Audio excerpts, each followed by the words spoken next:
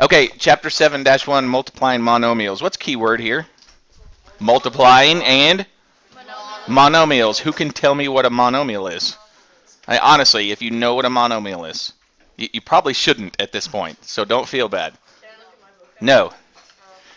okay, a monomial is a number, if I could write, it's a number, it's a variable, or a product.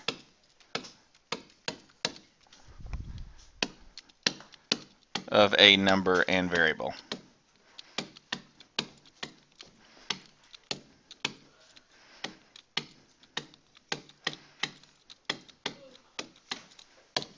Notice that it doesn't say it's a sum of a number and a variable, so there's no addition involved. It doesn't say it's the difference of a number and a variable, so there's no subtraction involved. It doesn't say it's the quotient of a number and a variable, so there's no division involved. It's either a single thing or its multiplication. For example,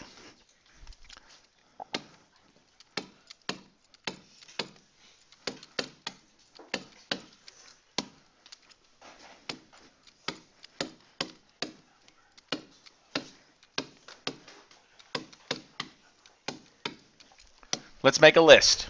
Okay, somebody give me an example of a monomial by what you just learned. What? 10. Okay, Michael, give me another one. X. X. Chris, give me another one. 25. Let's go. We've got the number. Let's go a little deeper. How about how about 25x? Is that a monomial? Yes, because it's the product of a number and a variable. It's multiplication side by side. Okay? Something else. 26Y. 26y. Let's go even further. Okay, let's go 26y to the second power. Oh, yeah, Uh-oh. See what just happened? Is that still multiplication? Yes. Okay. Now, let's use these and let's make things that are not monomials by using the stuff we just did. Okay, Cameron. Um, 25x plus 2. 25x plus 2. That's addition. That is not a monomial. Very good. Cooper? 10 over x. Man, Cooper went for the fraction. Big guy on campus. Absolutely. That's right. Ladies, take notes. Okay? That's division. All right? Which makes it not a monomial. Let's do one more. Dallas? Y minus Y. y minus, okay, y minus y. Actually, no, I can't do that. y? Good question. Here's here's why I can't do y minus y, because what is y minus y? Zero, which is a monomial. I can't add these together because they're not like terms. I can't divide those because I can't. So give me something else. Y minus X. y minus x. Okay, I'm all right with that. Okay, so again, number, variable, or product of number and variable. Any of this other stuff, not a monomial. Okay, so now let's multiply them. This is going to be real tough. Y'all might want to get your calculators out. I'm just kidding. That's sarcasm. Okay, let's look at some examples.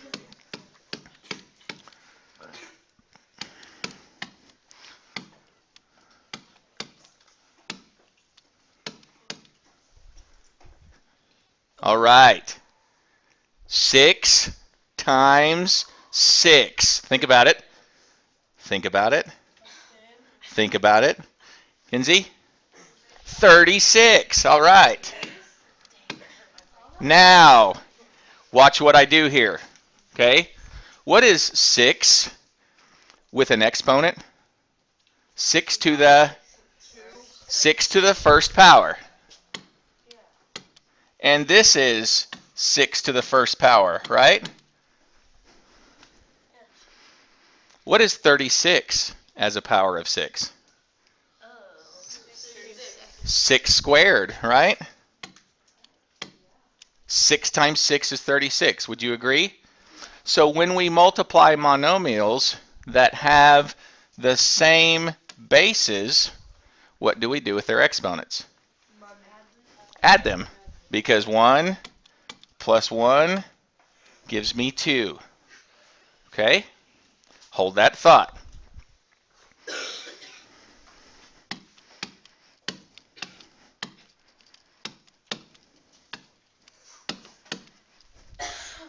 First question Are they both monomials?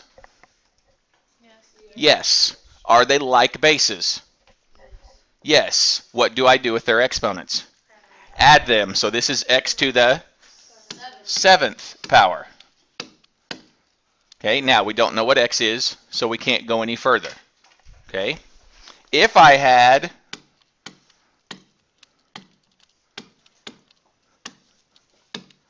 that problem, do they have the same bases? Yes. What do I do with their exponents?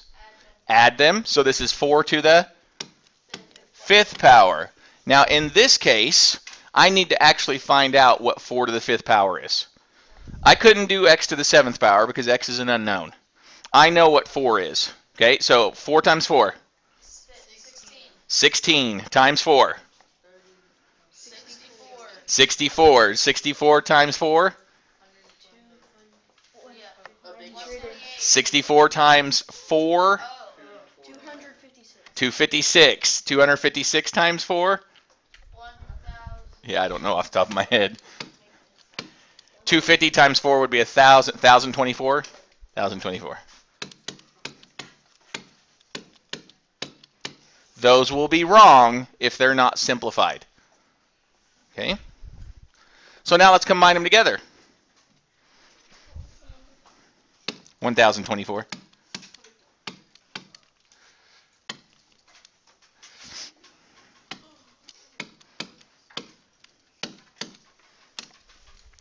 Now let's put a number with a variable. Uh-oh. Let's make the magic. Okay? What do you think? What would you do right away? Uh, we only combine like terms when we're adding and subtracting, so be careful there. I think I know what you mean, but I want you to go a step further. You could multiply the. You could double the 3x to the second. No, power and make it- nope. We're miss we're missing something really really simple. Th- th- keep going, Mike. I think you're on it, Michael. You just got to tell me. Add the exponents. Nope. What do we always do first? What do we always do first when we have numbers and variables? Get numbers on. Numbers. We always work numbers first. So take 6 times 3. 18. Okay. So we take the numbers and we multiply them together. Now, the numbers are gone. Do I have like bases? Yes. So I have x to the sixth. Okay.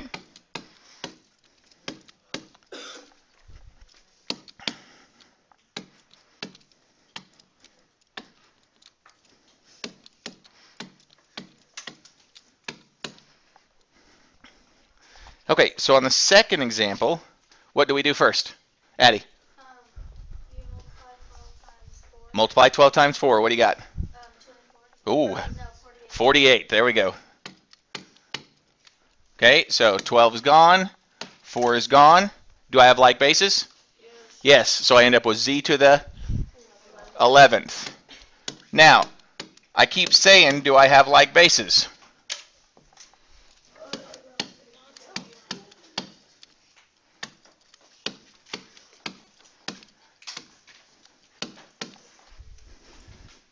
What if I don't have like basis? Okay. 12y squared times 4z to the fifth. What do we do first? Multiply. Multiply the numbers. 12 times 4? 48. 12 is gone. 4 is gone. Do I have like bases? No. So what's my answer? YZ. Y. Y squared. Read it with the 48, Dallas. Read it. Y squared plus. Oh, I don't see any plus anywhere. Do you see a plus anywhere? Careful on the plus. Cooper, what do you think? 48 YZ7. Uh, no, because they're not like bases. Remember, we can't add them. 48y to the second power times z to the fifth. Or simpler put, 48y squared z to the fifth. Done. Can't do anything with them. So I just put them side by side. Okay? Yes, ma'am. Um, do you only multiply the numbers whenever the, they're not the same or the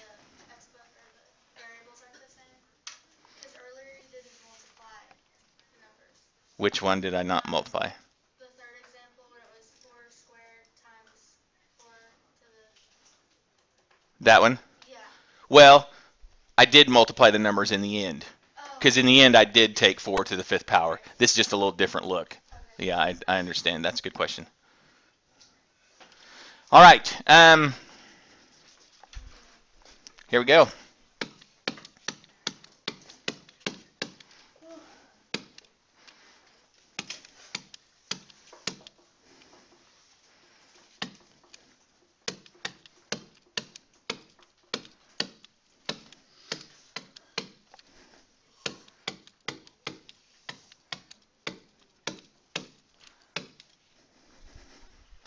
All right. What's the very first step?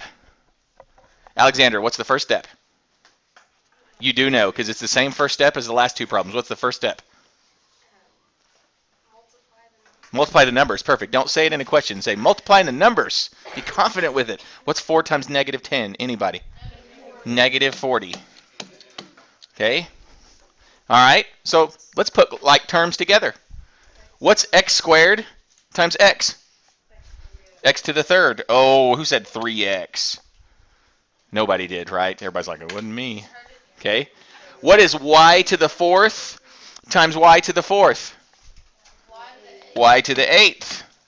What is z times z to the eighth? z to the ninth. Done. Okay?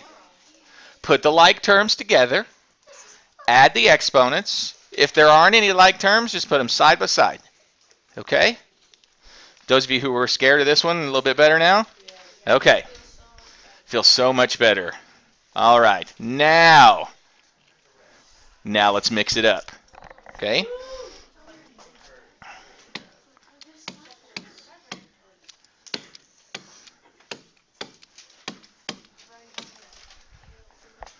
Shh.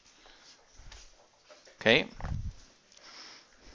What does 2x squared in parentheses to the fourth power mean? How would I rewrite that? You do 4 to the fourth, or 2 to the fourth power,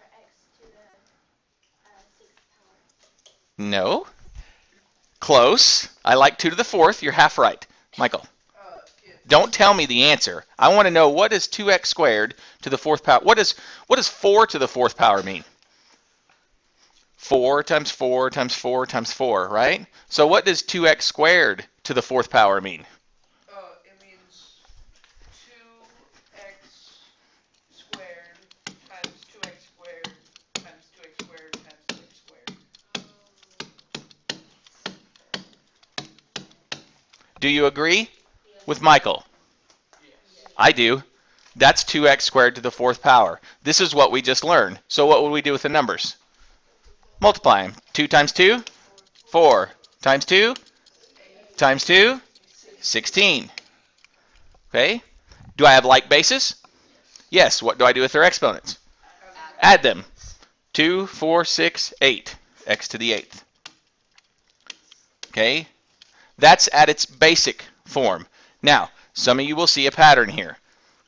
Okay, where Ashley was going, she was on the right track. She said 2 to the fourth power. Guess what 2 to the fourth power is? 16. She was on the right track. Now, the x squared to the fourth power, we don't add those, we multiply them. Okay? So, do you see the difference between these two? They're the same, they're just written different. Some of you will write it out this way. This is the way you want to keep it. Some of you will recognize this is a power to a power. Okay, so let's do another one.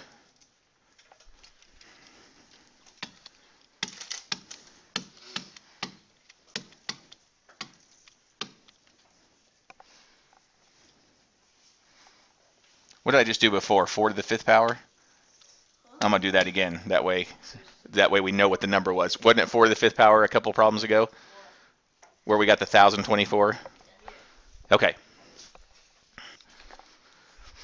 4 to the fifth power. We did this a couple problems ago. That ends up to be what? 1024. Okay, Lily, what is x squared to the fifth power? X to the 10th power. And Ashley, what's y to the third power to the fifth power? y to the 15th. Okay?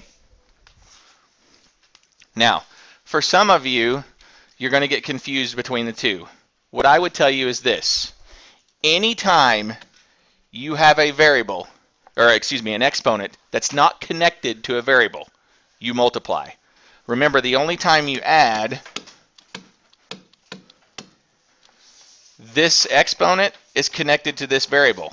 This exponent is connected to this variable. That's when we add. There is no variable that's connected to that. That's when we multiply.